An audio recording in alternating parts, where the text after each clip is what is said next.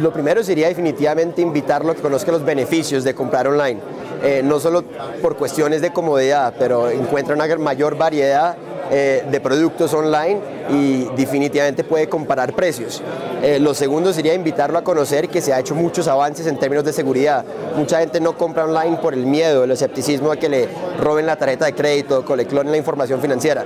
Pero definitivamente en los últimos cinco años para acá ha habido muchos avances y se ha disminuido sustancialmente ese factor. Eh, y lo tercero es que muchos productos que se consiguen online no se consiguen en otras tiendas. Por ejemplo, mucha suerte consiguiendo una camisa autografiada del pibe. Eh, usted va a las tiendas, no lo consigue, pero online es tal vez de los únicos sitios donde podría encontrarlo. Eh, yo creo que esos son los tres beneficios principales que invitaría al consumidor a conocer. De nuevo, la comodidad, la seguridad y la mayor oferta para comparar precios también.